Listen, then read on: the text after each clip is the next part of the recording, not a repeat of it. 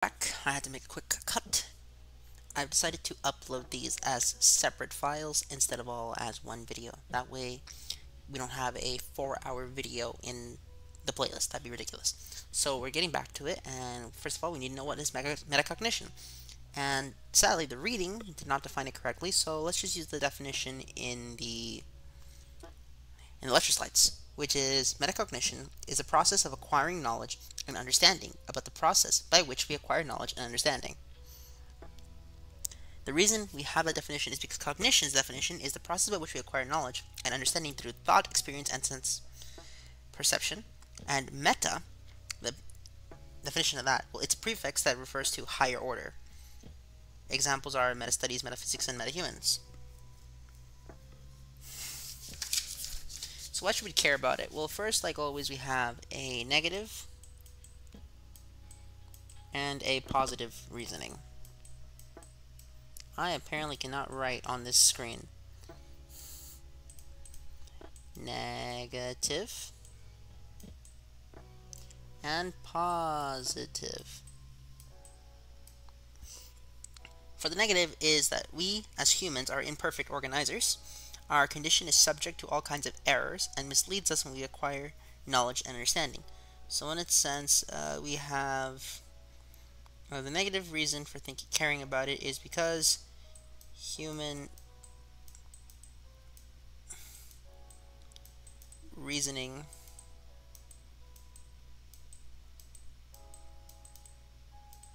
is flawed.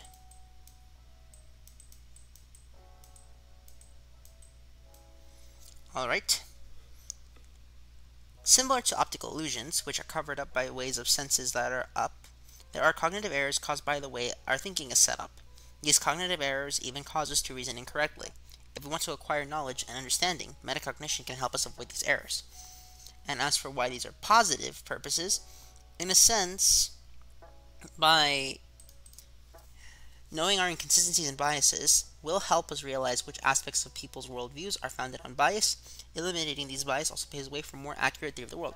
So in a sense, the positive reason why we should care about this is because by eliminating bias,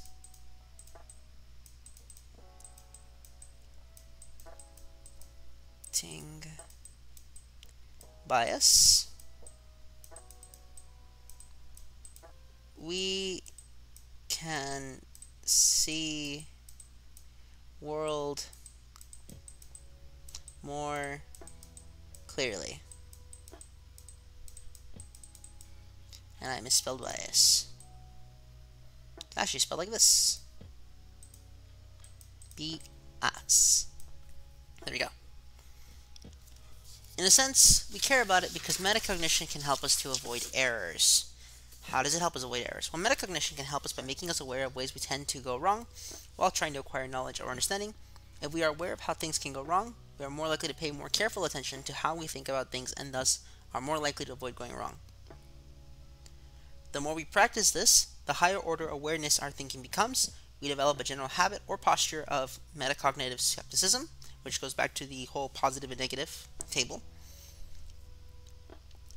And this skepticism is a habit that keeps us generally aware that we are imperfect, specifically aware that we might be going wrong in the process of acquiring knowledge and understanding.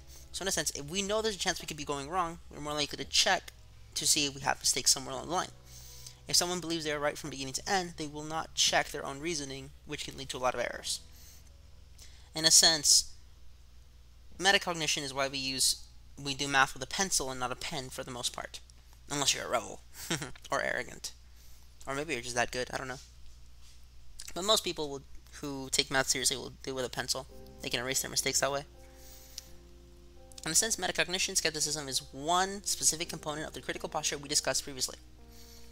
The focuses of, metal, of metacognitive focus of metacognition are two phenomena: cognitive bias and cognitive heuristics. So let's figure out what those are. So cognitive bias is it says flaws in how we process information. So flaws in info processing. And in the case of cognitive heuristics,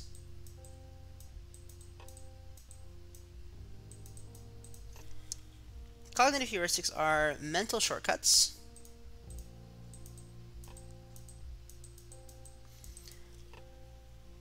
that we take when trying to figure something out. These are often unreliable and will lead us astray. So mental shortcuts that are often unreliable. I apparently can't spell, but that's as unreliable to the to the initiated. You know what? Let's spell it correctly, okay? I'm not a doctor. I can't get away with spelling things incorrectly. So it is unreliable.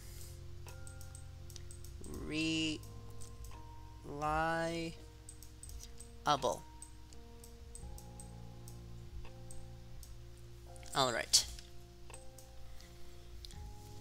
And of course, we have to talk about the Dunning-Kruger effect. In 1999, phys psychologists David Dunning and Justin Kruger, which is where we get Dunning-Kruger from, they published a paper called The Unskilled and Unaware of It, how difficulties in recognizing one's own incompetences leads to inflated self-assessments. In a sense, the rule is everyone thinks they're above average, and the less competent you are, the more likely you think you're competent.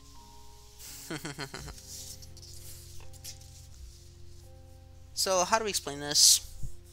When people are incompetent, they they don't want to really think about themselves being incompetent. Very few people want to believe they're actually incompetent, so they'll try to say that they're more competent than they are. And in the sad way, by doing so, they never realize how incompetent they are, thus leading to more bad decisions as a whole. In a sense, skills that engender competitive, I mean, competence in a particular domain are often the very same skills necessary to evaluate competence in that domain in, in a sense, because they never developed the skills to be competent in a, in some field or some area of study, they'll never be comp they'll never be able to competently analyze their own their own abilities. So part of it is just human ego, okay? No one wants to think that they are incompetent. And people also have an easier time recognizing incompetence in others than in themselves, which contributes to the overestimation in a sense, you're more likely to think someone else is bad when it's likely that you yourself are also just as bad. Maybe you're not, but there's a good chance you are. And these results from the Dunning-Kruger effect were reproduced in experiments. If you remember, the professor had us read the the paper prior, so we knew that it should be a bell curve. But if you actually analyze it, it looks kind of like this. So this is a not competent, and this is competent. If you really analyze it, it would look something like this. Because people like to believe they're on the top, but this is what it really is.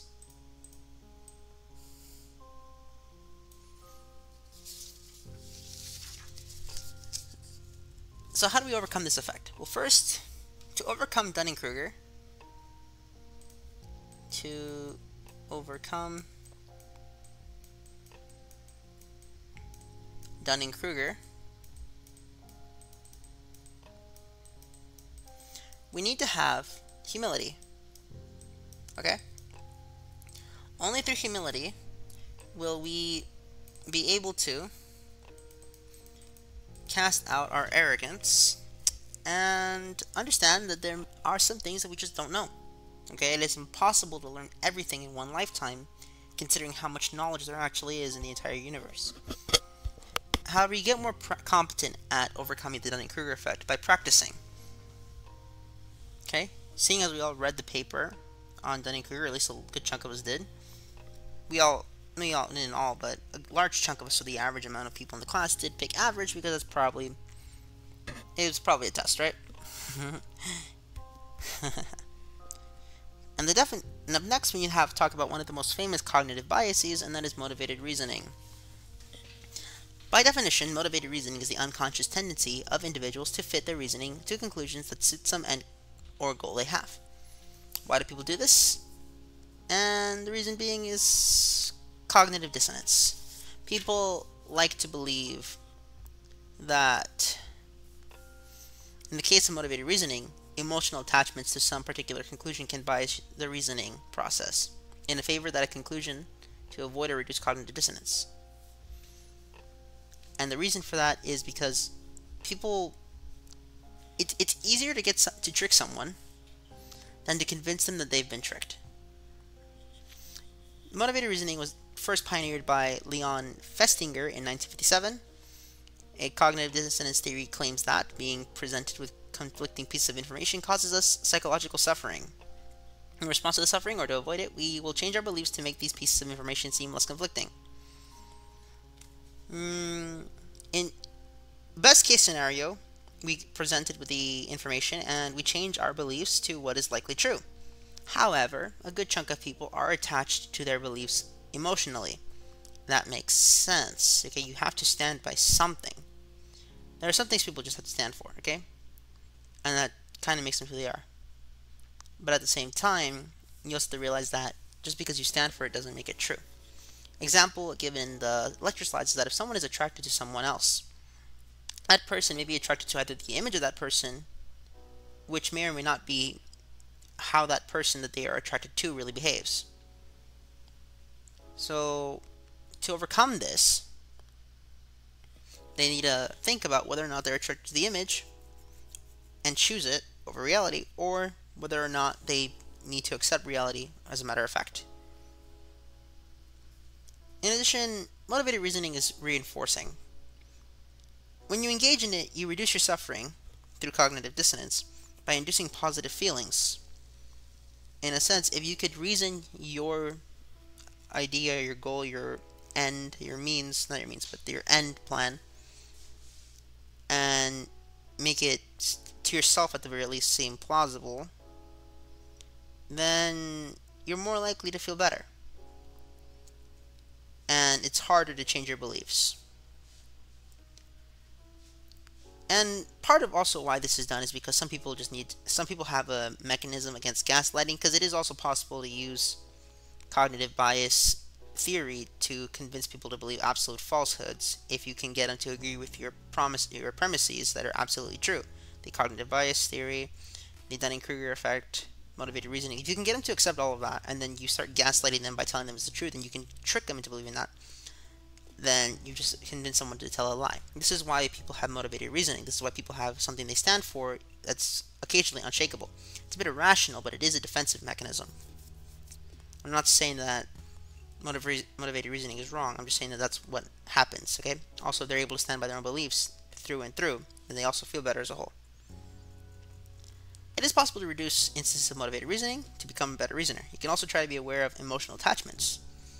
So in a sense, if you're able to have a point that you believe in, but you're able to reduce your emotional attachment to that point, you can become better reasoning and thusly defend your point that you stand by more effectively, assuming that point has some basis to stand on.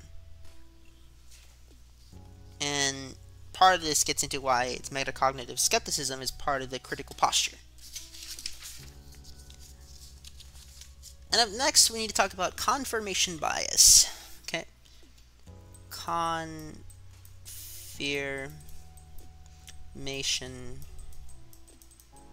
bias.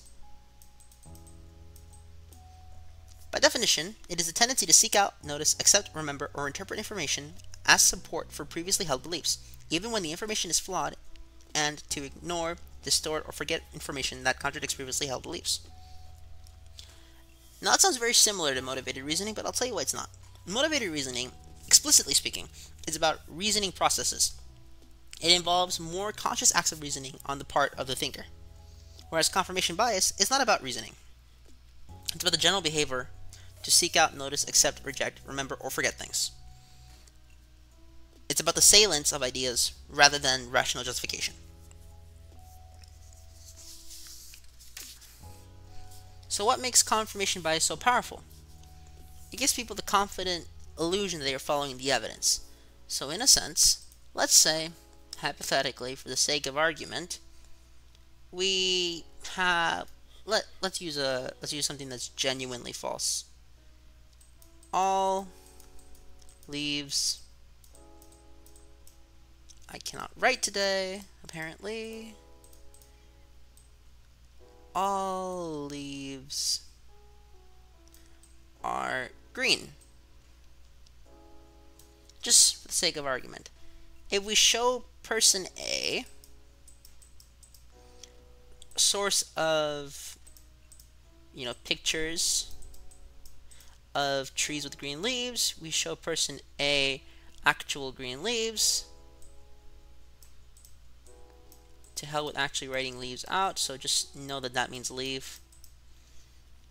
Or we show that person an article that features green leaves. Then they are likely to believe that leaves are green. However, the way it works, if I show him an article about autumn, then person A will reject it. Because it does not follow his mentality of it. That's his thought process. And by rejecting it and having all these other sources, be them true or false, he feels that he is following the science. He's following the evidence. He feels better about himself. Doesn't mean he's thinking the correct thing. All these articles could have been provided by a legitimate source or an illegitimate source. Doesn't matter. As long as he believes this thing, he will reject the autumn. And thus, he can be made to reject the claim, to accept the claim that all leaves are green, even though it's false. Confirmation bias work with other biases to lead astray the people in unique ways. Example would be desirability bias.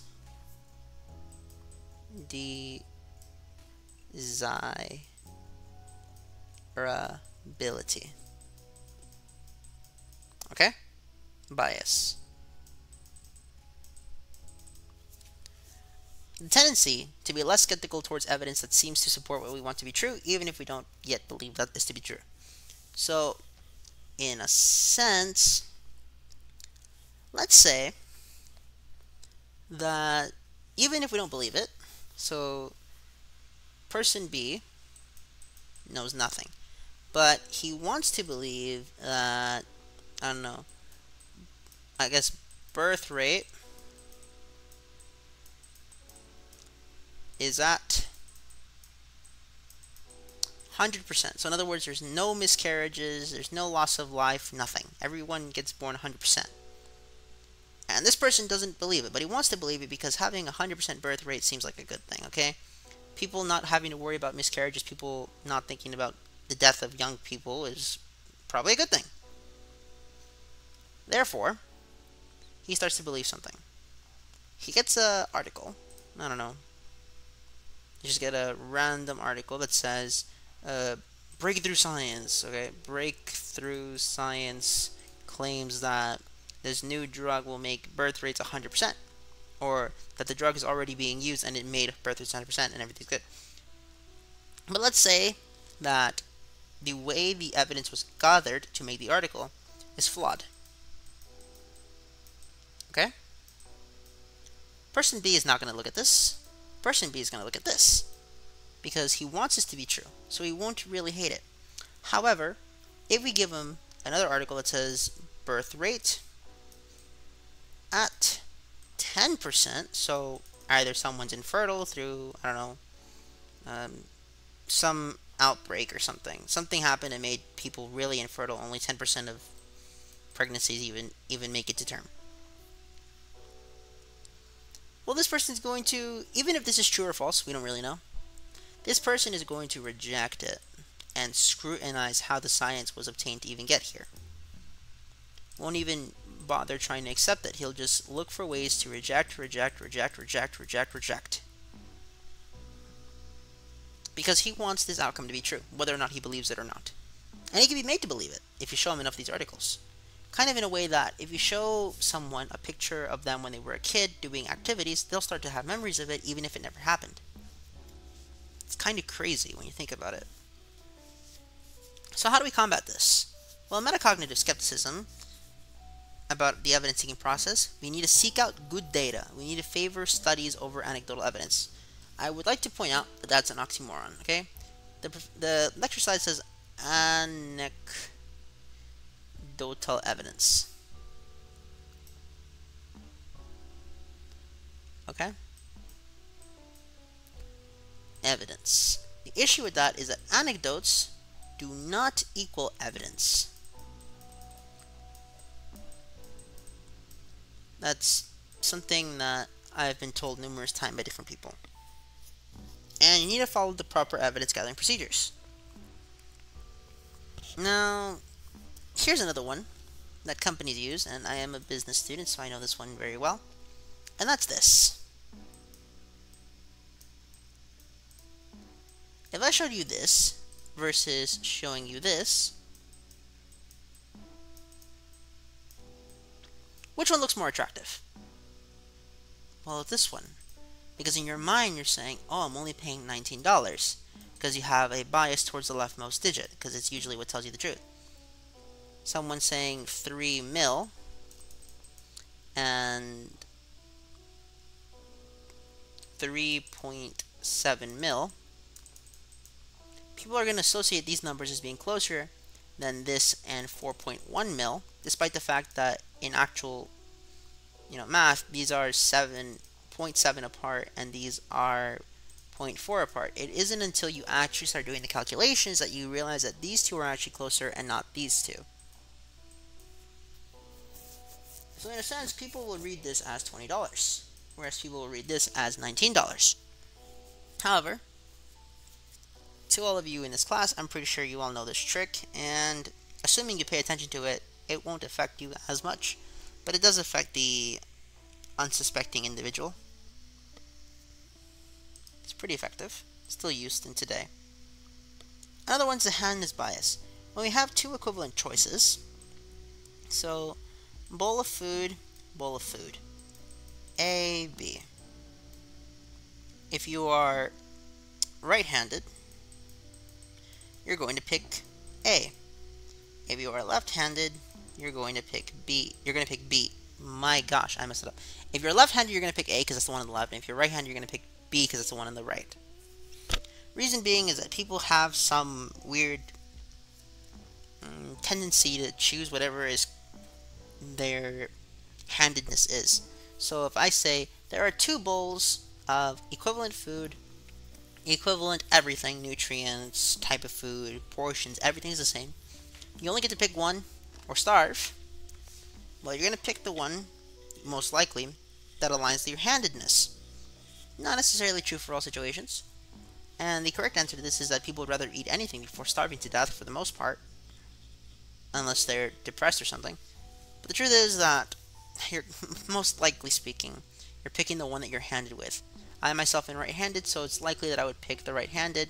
However, if I know this is being tested, I'll pick the left one just to spite someone. Because it's fun, you know? It's kind of fun. And of course, you gotta talk about other biases, such as the framing bias.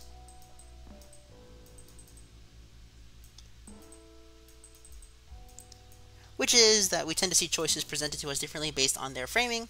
Example, surgery with a 90% survival rate, 90% to live, is more is more enjoyable than 10% die. These are actually the same chances, but we see the word live and it's framed as, oh, you're going to live that many times. That's better on the human mind than, oh, you have a 10% chance of dying. Because that means that if you have, I don't know, a thousand people and then 100 of them are going to die. That doesn't sound very nice. But if you say out of 1,000 people, 900 of them are going to live, well, we're still talking about death here, but we framed it better. This, this sounds nicer than this.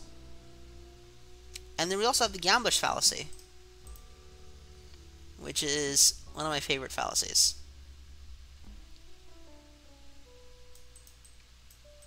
Fal...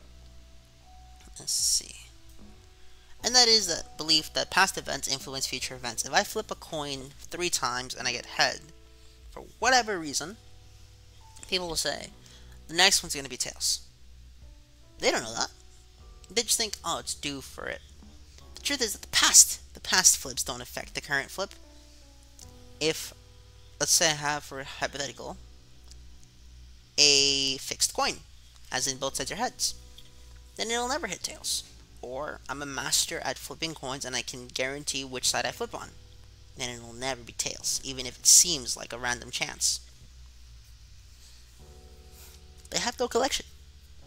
And even if I was flipping randomly using a fair coin, it still could, hypothetically, after many iterations of the test, give me 100% heads.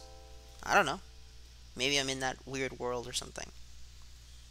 And that's the point. Gambler's fallacy is people tend to think that past events influence the future when there's no causal causal connection between them. Obviously, past events will influence the future. For example, say if person A decides to um, say rob store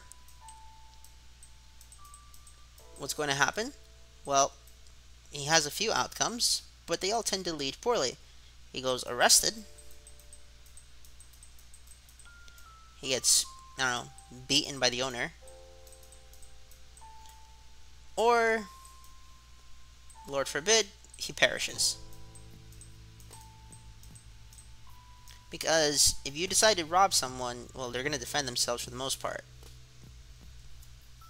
That's an example of past events influencing a future event. Because if he didn't do this, then he would probably just move on with his life. Or do something else. The gambler's fallacy, however, assumes that if person A flips coin, there's only two options heads or tails. But for whatever reason, the gambler's fallacy makes people think that it goes tails, and then from here, there's a higher chance it's heads, and there's a lower chance that it's tails. But no, it's always heads or tails afterwards. And there is no scenario where suddenly heads is 2 and tails is 1, because there isn't. That's why the gambler's fallacy works like that, but it doesn't work for something like this. Now, as for other biases, we have the in-group bias, as in we tend to favor members of our own group. Projection bias, where we assume people think like us. Consensus bias, which we tend to assume that the opinions shared by the minority are, by the majority are correct.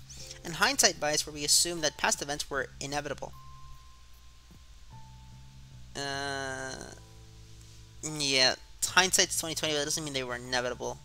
Okay, let's say, hypothetically, I play a game of chess. And I say, with hindsight bias, ah, the game was always going to end with me losing. That's bias. But in reality, let's say that our opponent here is going to be a very crude drawing. I have my knight here, and my opponent has a queen here. And this queen, in some other round, decides to checkmate me. But for some reason, instead of moving my knight to you know, defeat the queen, I move a pawn up. Hindsight bias would say I'm always destined to lose. But if you're using hindsight correctly, because hindsight is 2020 in many occasions, I would realize had I moved the king to kill the queen, the knight to kill the queen, then nothing would have happened. That's not hindsight bias, that's saying, okay, something else would have changed. But at the same time, that's the also the mentality of, had you not done this, I would have won. Yeah, obviously. Doesn't mean it, but it happened though, so it doesn't really matter. Cognitive heuristics are just shortcuts, as I said before. Availability heuristics are we assume that if we can easily tell, call an example of something to mind, it's common or important. So in a sense, let's say that the media reports on pollution, okay? And they'll do it all the time for global warming. They talk about it all the time. But for whatever reason, they don't talk about, say, I don't know, uh, crime rate in Chicago, for the sake of argument. Well, because the media will keep bringing up, you know, pollution or some other other topic they keep bringing up, we assume that it's just something that is like, super common. Like, whether or not pollution is going up or down, let's just say that for sake of argument, it's super low, but they keep talking about it. And the availability heuristics would mean would lead to us saying, "Oh, that's super common." But in reality, if we look at the situation, crime rate in Chicago is actually pretty high, but since they don't talk about said outcome, people don't really think about it. So we don't think of that as common or important. Whether or not it is or isn't is still a different question altogether. But that's the usage of the availability, availability heuristic. Representative heuristic. We tend to assume that if someone or something has features typical of a category, they likely belong to that category. Mm, I guess... I don't know. I'm trying to pick something that would be easy to do. So let's say, hypothetically, somebody has a shirt that says Metallica, okay? We'll assume if they have that shirt and they wear it quite often, we assume, oh, they listen to Metallica. Doesn't make it true, okay? Maybe someone gave them the shirt. Maybe it's a borrowed shirt. Maybe they don't even know what the shirt is. Maybe they're so young they can't even read it. Maybe they weren't educated and they can't even read the shirt. There are many things that it could be. Cognitive heuristics will make us think that, hey, they probably just listen to Metallica, or hey, they are a fan. Doesn't make it true.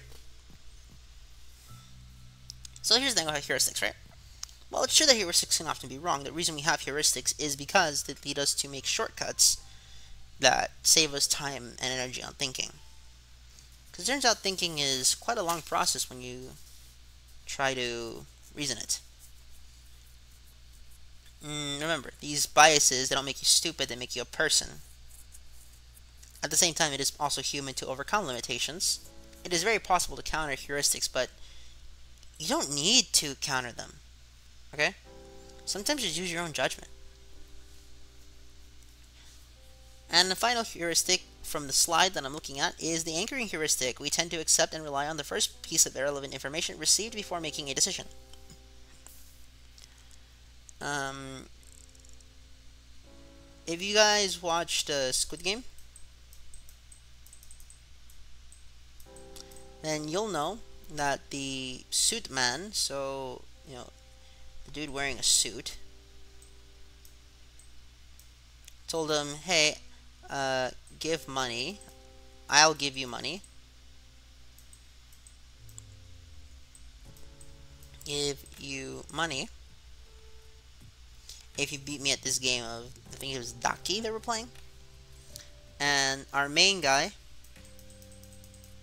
said, sure. And, you know, he kept playing and playing.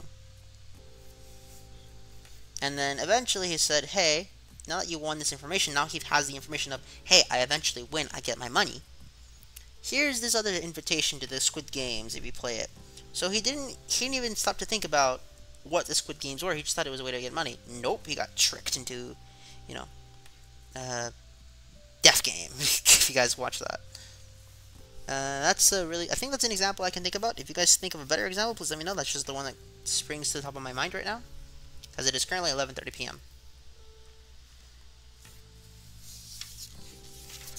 And that is the end of class 3.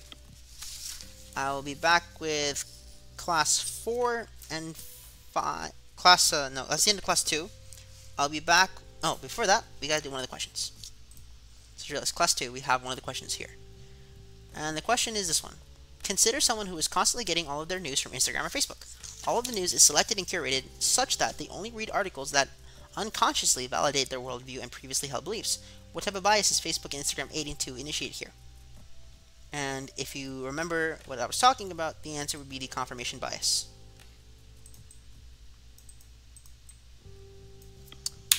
So that's the first quiz question done. We have two more, but we'll get to those when we get to those. Anyways, I want to thank you all for watching. Please stick tuned for please stay tuned for parts for the next two parts tomorrow. Actually, three parts um, three, four, and five of Philosophy 07 will appear, which will be treated as I think 13, 14, 15, 16, 17, or 14, 15, 16, 17, 18. Goodbye.